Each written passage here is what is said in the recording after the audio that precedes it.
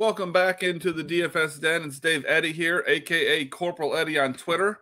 And let's get back into some baseball here.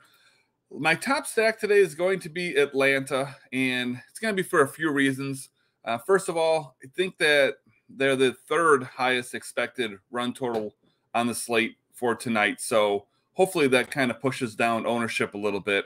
And they're also going up against Taijuan Walker, who even though the Braves just lit him up uh, the last time that they met not too long ago, he has been a pretty good pitcher this season. So I'm hoping that that kind of pushes exposure down as well. But Atlanta's a team that you know we've been able to to stack all season long for the most part, and they've got the potential to to really blow things up. Now, when I'm looking at the hitter that I like there the most, I think the obvious answer would be like someone like Ronald Acuna, but I am seeing a drastic misprice, at least on DraftKings, for Vaughn Grissom. He is still the absolute stone nuts minimum, and I don't understand why that is. He's got a hit in all five of his games so far this season.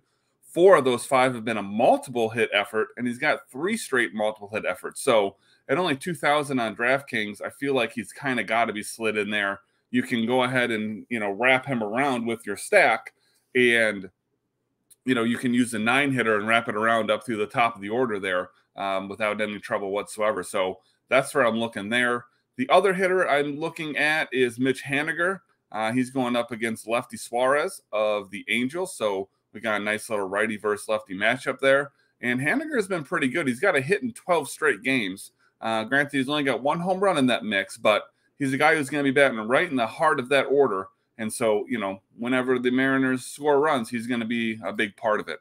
When we get to pitching today, it's kind of status quo. Looking at the very top with Justin Verlander uh, on the road against the White Sox. Verlander has just been an absolute pillar of consistency. And that's where I like to spend my money is on things that are not going to be too volatile. No reason to expect him not to get at least six innings and probably at least, you know, six strikeouts for us. And then there's a lot of other good pitching options up and near the top, but they've all got pretty good matchups. So I'm actually looking to go down just a smidge here to Robbie Ray. Uh, he is on the road against the Angels. The Angels have been a team that you know we've been targeting for quite a while. And outside of two back-to-back starts against Houston, um, about a two weeks ago here, um, Ray has been really good. And the reason for that is he's been going deep in games. And same thing to Verlander, he's getting lots of strikeouts. So again, we should expect to see, you know, at least six innings and at least six strikeouts from him as well. So those are the places that I'm looking today. Um, hopefully you're following along. If you haven't done so already, pop over here and subscribe to the channel. You can turn on the notifications so you get an alert as soon as the video comes out.